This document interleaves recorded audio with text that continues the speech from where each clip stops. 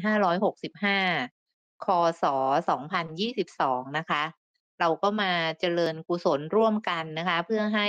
จิตเราเนี่ยเป็นมหากุศลที่มีปัญญาประกอบนะคะ เพื่อเป็นหนทางที่จะไปสู่สุขติภพ ถ้าเรายังจะต้องพักอยู่ในสุขติภพนะคะ เพื่อการอบรมสิกขาสาม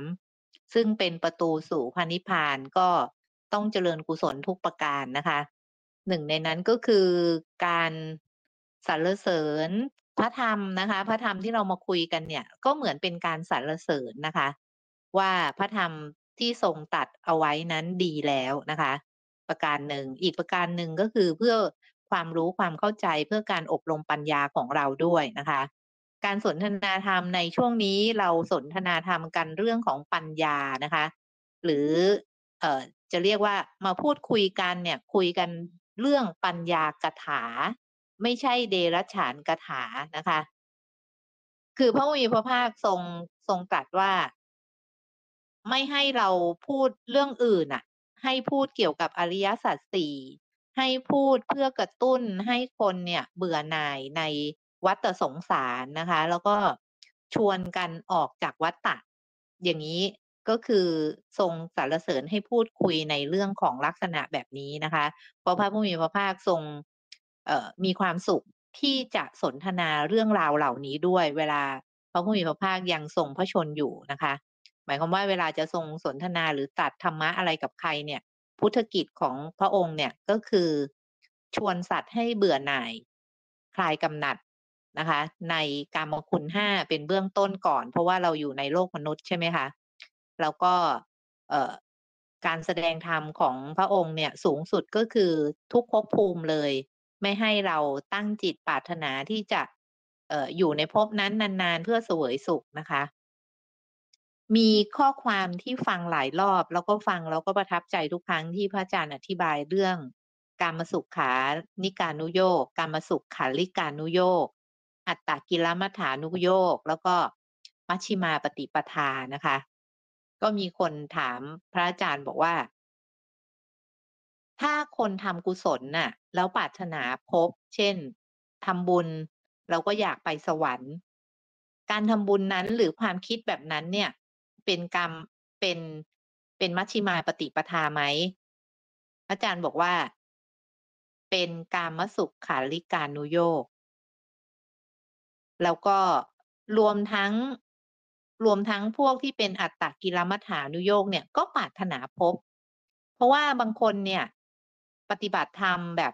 ทรมานตัวเองเพื่ออะไรคะ เพื่อหวังที่จะไปสู่ภพภูมิใดภพภูมิหนึ่งที่มันมีความสุข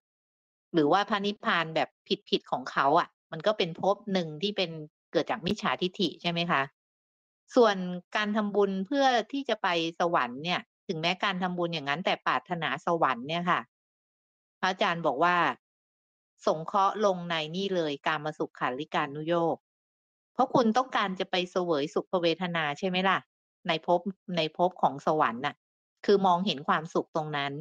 ก็ก็เจือด้วยการที่จะปนเปื้อเออสภาพจิตใจตัวเอง ให้มันแบบคุกเคล้าไปด้วยความสุขต่างๆ ก็เป็นการมาสุขขาริการุโยก ก็โอ้โหฟังพระอาจารย์อธิบายแล้ว คือสรุปว่ามัชชิมาปฏิปทาเนี่ยค่ะ ต้องเป็นไปเพื่อการออกจากวัฏฏะอย่างเดียวเลยนะคะ ต้องเป็นไปเพื่อการแทงตลอดอริยสัจสี่อย่างเดียว แต่สามารถเริ่มได้ที่ความคิด เช่น คนหนึ่งให้ทานนะคะ สมมุติว่าให้ทานไปให้เงินไปห้าบาท คนหนึ่งก็ตั้งใจว่า เออให้ไปแล้วเราจะได้รวยขึ้น จะได้ส่งผลให้รวยขึ้น กับอีกคนหนึ่ง บอกสาธุเงินที่ให้ทานไปเนี้ยขอให้เราแทงตลอดอริยสัจสี่ขอให้ถึงพระนิพาน คนที่อธิษฐานให้ถึงพระนิพานเนี่ย อันนี้เป็นมัชชิมาปฏิปทา แต่ถ้าคนที่หวังว่า เออให้ไป เดี๋ยวก็เออพระพุทธศาสนาสอนเอาไว้นี่ เขียนไว้ในคัมภีอะให้ห้าบาทก็สะท้อนกลับมาเป็นร้อยเท่าพันเท่าหมื่นเท่า แสนเท่า เพราะว่าขณะจิตอะก็มีหลายขณะจิตที่ที่คิดจะให้ทาน คือคือจริง ๆนะคะ ในลักษณะของว่าในพระไตรปิฎกเนี่ยก็คือบอกว่า มหากุศลเนี่ย คือการทำบุญหนึ่งครั้งเนี่ย ผลที่ตีกลับมาเนี่ยโอ้โหแบบเป็นทวีคูณเลย เป็นแสนแสนเท่า พันเท่าร้อยเท่าอะไรแบบ คือเยอะมากอะ่ะ เยอะมากกว่าที่ทำไปอะ่ะ ท่านจึงใช้คำว่าเป็นมหากุศลนะคะ คือให้มหาวิบากเลยอะ่ะ วิบากก็เรียกว่าเป็นมหาเลย คือเยอะเยอะกว่าตัวที่ทำอะนะคะ ถ้าคนที่คิดแบบนั้นเนี่ย พระอาจารย์บอกว่าเป็นการมสุขขาริการุโยกแต่ถ้าคนคิดถึงพระนิพพานคิดถึงอริยสัจเนี่ยอันนี้เป็นมัชชิมาปฏิปทา แม้ยังไม่ได้เจริญวิปัสสนาอะไรใด ๆ เลยนะคะ นี่คือเป็นเป็นสิ่งที่พระอาจารย์ถ่ายทอดมานะคะ เพราะฉะนั้นการที่ใครได้ยินได้ฟังพระอาจารย์สมบัติ แล้วฟังท่านรู้เรื่องเนี่ย ขออนุโมทนาอย่างมากเลยนะคะ อย่างมากเลยถ้าถ้ารู้เรื่องนะคะ เพราะว่าพอเรารู้เรื่องเสร็จปั๊บเนี่ยฮีริโอตปะเราก็จะเยอะขึ้นค่ะ แล้วเราก็จะสำรวมมากขึ้น คือกุศลต้องเจริญค่ะ ถ้าถ้าธรรมะที่ฟังถูกต้องนะคะ กุศลจิตเราต้องเจริญ แล้วก็หลักการอันนึงของการขัดเกลากิเลสก็คือ ท่านไม่ให้เราไปยุ่งกับคนอื่นเลยอะค่ะ ท่านให้เรายุ่งแต่กับตัวเราคนเดียวนะคะ แม้บางทีการจะไปแสดงธรรมเกื้อกูลคนอื่นอะไรอย่างเงี้ย พระอาจารย์ก็ยังเหมือนกับจะติงติงนะคะ จะติงติงคือเหมือนกับท่านเป็นห่วงว่า ไอ้เราเนี่ยจะไปบอกคนอื่นนะตกลงเราเข้าใจดีมากพอหรือยังนะคะ มีวันนี้ฟังอยู่ข้อหนึ่งก็คือ พระอาจารย์กำลังแสดงธรรมเรื่องของวิปัสสนูปกิเลสค่ะ แล้วท่านพระอาจารย์บอกว่า ถ้าใครปฏิบัติมาถึงตรงนี้เนี่ย แล้วชอบสอนคนอื่นเนี่ย พระอาจารย์ไม่ห่วง นะคะ ถือว่าคุณมีความสามารถที่จะถ่ายทอดได้ เพราะคนที่จะมาถึงวิปัสสนูปกิเลสเนี่ยเป็นคนมีปัญญาค่ะ วิปัสสนูปกิเลสจะเกิดกับคนที่มีปัญญาแล้วผ่านวิสุทธิหลายข้อมาก คืออันที่หนึ่งคนที่จะเกิดวิปัสสนูปกิเลสนั้น อันที่หนึ่งนะคะ ต้องมีศีลวิสุทธิ ดีแล้วต้องมีจิตตวิสุทธิดี มีทิฏฐิวิสุทธิดี มีกังขาวิตรณวิสุทธิดี ได้สี่วิสุทธิแล้วจากเจ็ดวิสุทธิมาเกินครึ่งทางแล้วพระอาจารย์เลยบอกว่าไม่ห่วงถ้าอยากจะไปบอกคนอื่น เนี่ย คือเนี่ยเป็นข้อสังเป็นเรียกว่าเป็นปัญญาของพระอาจารย์สมบัตินะคะ ในการที่ท่านแสดงธรรมเนี่ยน่าฟังไปหมดเลยค่ะ ก็วันนี้เราก็มาคุยกันเรื่องของ เอ่ออริยสัจข้อที่สี่นะคะ ก็คือมรรคอริยสัจโดยเน้นไปที่ตัว องค์มรรคที่เรียกว่าเป็นสัมมาทิฏฐิหรือเป็นเป็นปัญญานะคะ เรียกว่ามรรคยานว่ามีอะไรเกิดขึ้นบ้างในขณะที่มรรคยานเกิดขึ้นนะคะ ก็ขอเรียนเชิญอาจารย์ไปเชิญนำเข้าสู่การสนทนาต่อเลยค่ะ ครับสวัสดีทุกท่านครับกับหัวข้อที่เราสนทนากันอยู่นะครับ ใช้คัมภีวิสุทธิมรรคเป็นหลัก ในการสนทนานะครับ ซึ่งก็ยังอยู่ในหัวข้อที่ว่าอนุภาพของมรรคอยู่นะครับ อนุภาพของมรรคยานก็จะมีมีท่านรวมไว้ในคัมภีวิสุทธิมรรคนะครับห้าข้อคือความที่มักมีโพธิปัจจยธรรมสามเจ็ดบริบูรณ์ อันนี้คือข้อที่หนึ่งข้อที่สองวุฒานะ ซึ่งก็เป็นการออกจากสังขารออกจากกิเลสนะครับ สามพละสมาโยคะนี่ก็เป็นกำลังทั้งสมาธิและวิปัสสนาที่เกิดขึ้นนะครับสี่การละธรรมทั้งหลายที่พึงละด้วยมรรคยานห้ากิจทั้งหลายมีการกำหนดรู้เป็นต้น อันนี้ก็เป็นอนุภาพของมรรคยานซึ่งยังยังรูอยู่ในหัวข้อที่สี่นะครับ การละธรรมทั้งหลายที่พึงละด้วยมรรคยานนะครับ ก็ เป็นการอธิบายที่ต่อเนื่องโดยมีเนื้อหาที่เยอะพอสมควรนะครับ พูดถึงทำทั้งหลายที่เป็นทำฝ่ายดำนะครับ ที่มักต้องละ เป็นสมุเฉกนะครับ แล้วท่านก็มีการตั้งคำถามเพื่อให้เข้าใจถูกต้องในใน คำสอนนะครับว่ามรรคเนี่ยละอกุศลธรรมเหล่านั้นไม่ว่าจะเป็นพวกสังโยชน์พวกกิเลสโอคาโยคะเหล่านั้นนะครับ ว่ามันมันเป็นกิเลสที่เป็นอดีตหรืออนาคตหรือปัจจุบันท่านก็ตั้งคำถามขึ้นมาเพื่อให้จะได้ไม่ไม่สับสนนะครับ คือถ้าบอกว่าเป็นเป็นการละกิเลสที่เป็นอดีต อันนี้ไม่ถูกต้องนะครับ เพราะว่ากิเลสที่มันเกิดแล้วมันดับไปแล้วเนี่ยจะไปละ มันก็ไม่ได้อยู่ในฐานะแล้วนะครับ ก็คือมันเป็นไปไม่ได้ เพราะมันละมันเกิดแล้วก็ดับไปแล้ว ส่วนอนาคตที่ยังไม่เกิด อันนั้นก็ ก็ไม่ใช่นะครับ คือมันยังไม่เกิดจะไปละได้ไง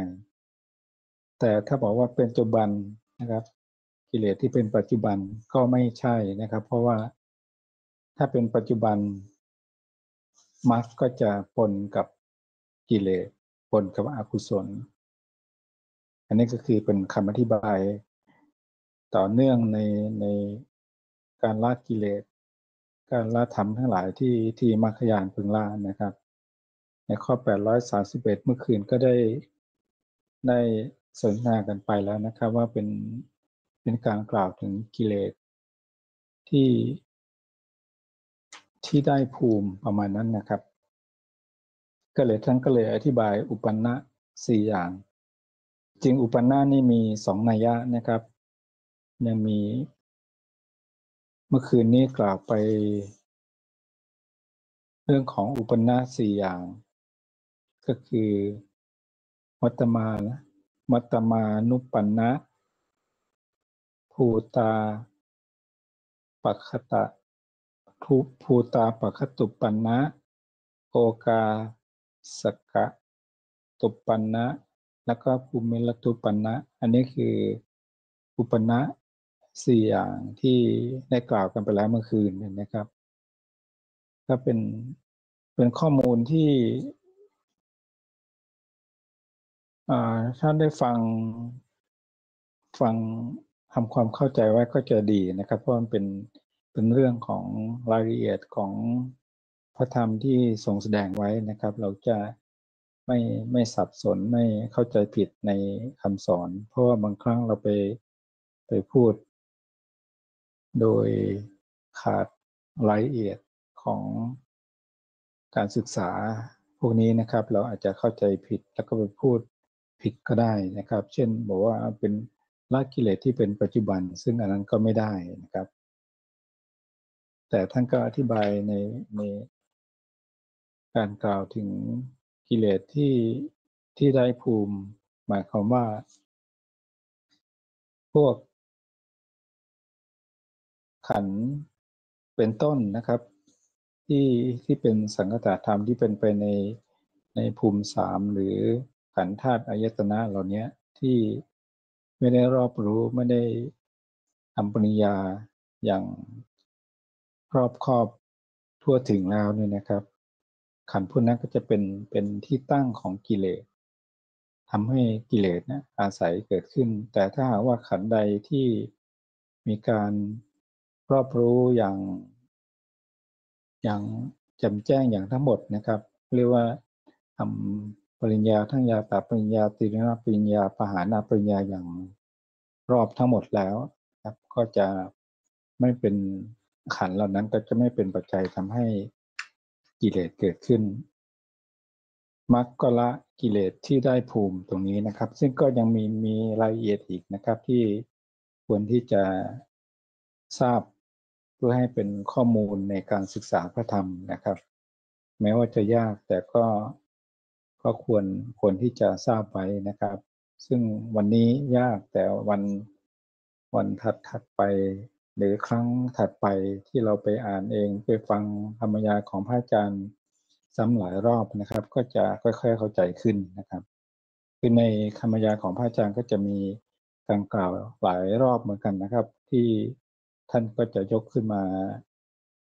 เป็นตั้งคำถามว่ามรรคละกิเลสไหน ระหว่างเป็น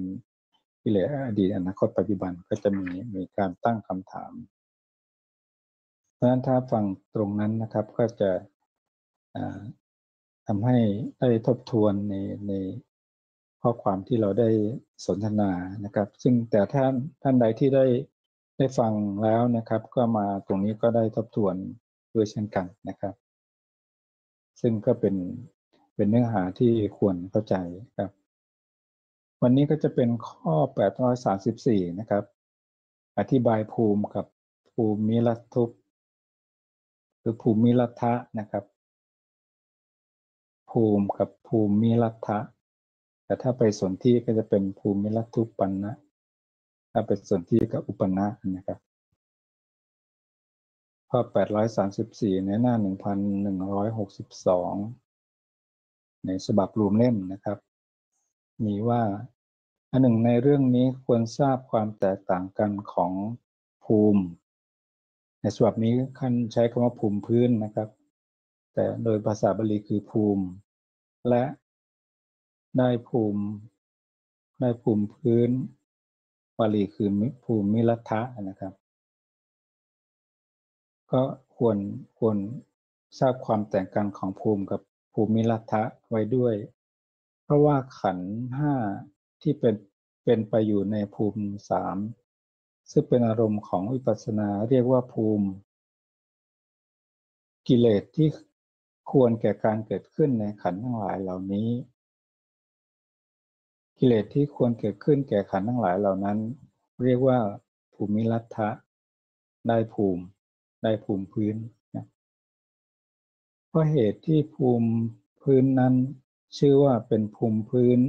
อันกิเลสนั้นได้แล้ว เพราะฉะนั้นท่านจึงเรียกว่าภูมิรัฐะกิเลสที่ได้ภูมิพื้นแล้ว ด้วยประการชนี้ และภูมิพื้นนั้นมิใช่ได้โดยทางอารมณ์ เพราะว่ากิเลสทั้งหลาย ย่อมเกิดขึ้นโดยทางเป็นอารมณ์ เพราะปารกขันทั้งหลายทั้งปวง ที่เป็นอดีตและอนาคตบ้าง และปารกขันทั้งหลายของพระขีณาสพทั้งหลาย ที่ท่านกำหนดรู้แล้วบ้าง เช่น กิเลสทั้งหลายที่เกิดขึ้นแก่โสรยะเศรษฐี แก่นุทะมนุษย์เป็นต้นพระปารกขันทั้งหลายของท่านพระมหาจายนะและพระอุบลวรรณาเถรีเป็นต้น อันนี้คือ ในย่อหน้าแรกนี้นะครับ ท่านก็จะให้ให้เข้าใจของความหมายของคำว่า ภูมิกับภูมิรัฐะนะครับ ซึ่งภูมิในที่นี้ ท่านท่านกล่าวว่าเป็นเป็นขันที่เป็นอารมณ์ของวิปัสสนา ก็คือวิปัสสนาเข้าไปรอบรู้แล้วนะครับ ส่วนกิเลสที่ควรเกิดขึ้นแก่ขันเหล่านั้น อันนี้เรียกว่าภูมิรัฐะครับอันนี้คือความต่างกันของสองศัพท์นี้นะครับ แต่ที่มักมักละนี่นะครับ ก็คือมักไอภูมิรัฐะนี่นะครับ มีอีกย่อหน้าหนึ่งนะครับ และผีว่ากิเลสดังกล่าว กิเลสดังกล่าวนั้นพึงมีชื่อเป็นภูมิรัฐะคือได้ภูมิพื้นไซใคร ละรากเงาของพบไม่ได้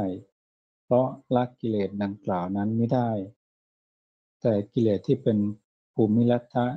ควรทราบโดยทางวัตถุที่เกิดขึ้น เพราะว่าขันทั้งหลายที่ไม่ได้กำหนดรู้ด้วยวิปัสสนา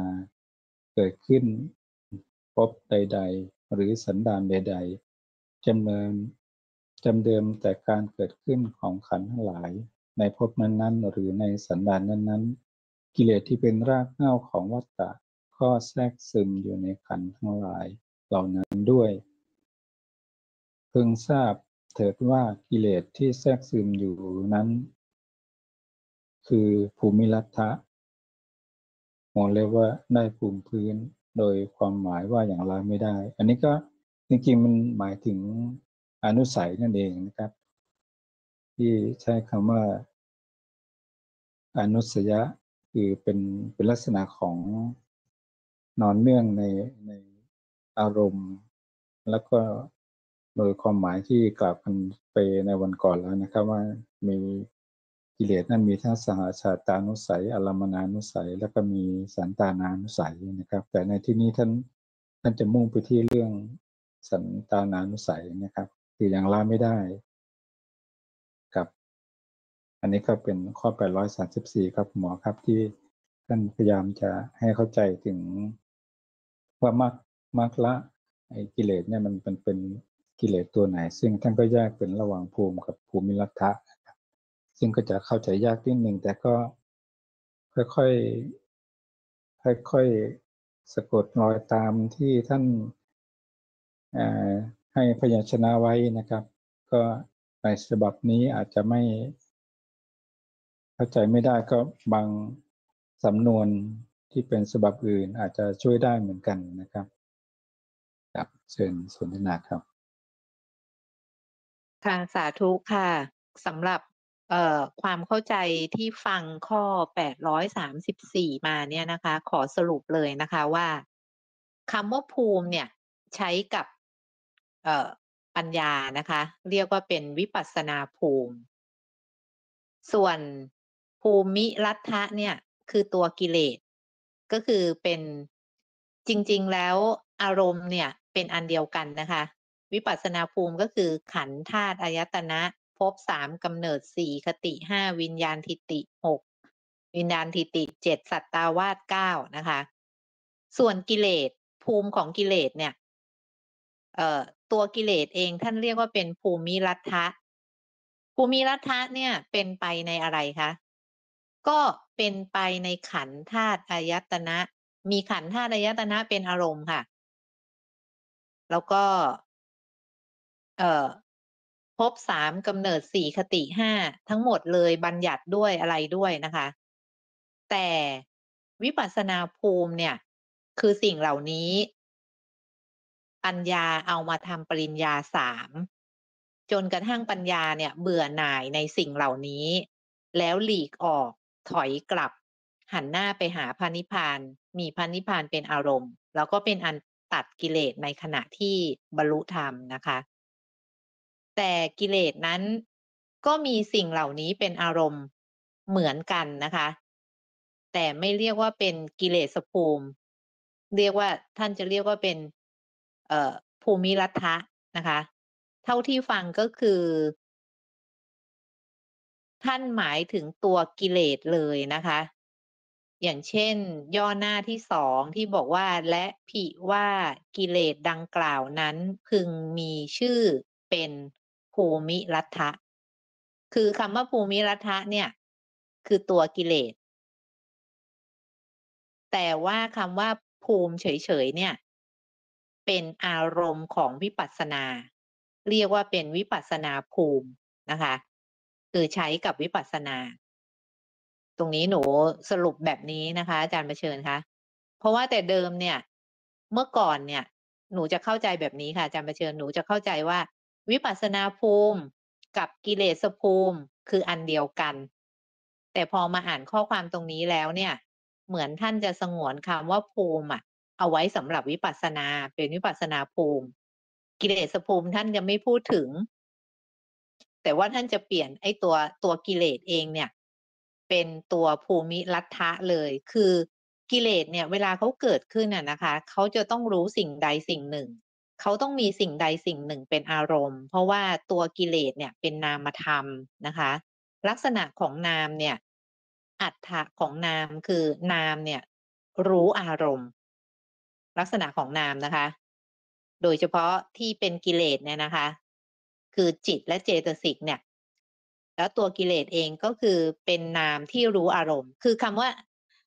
อัฏฐะของนามที่บอกว่า นามมีอัฏฐะว่า